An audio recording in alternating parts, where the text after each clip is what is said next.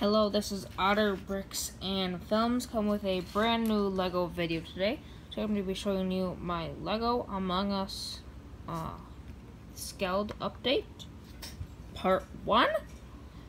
And today I'm going to be showing you Part 1 of the Scaled Update, like I just said. And today I built the cafeteria. So I'll show you around. So the first thing that I built was the general outline. What I first did, it is it is actually elevated by one brick.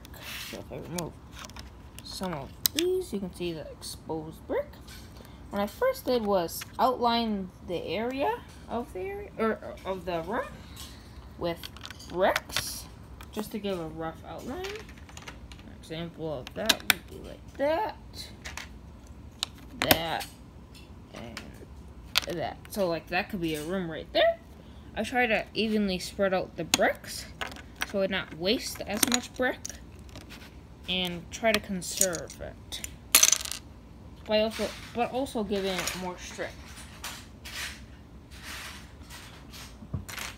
After that I did place the gray plates.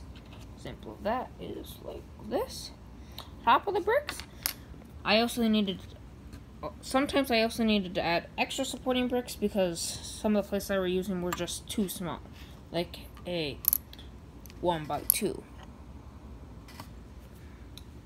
Also at the cafeteria, does have some unique angles, so I added these, I believe, 45 degree uh, angle pieces here.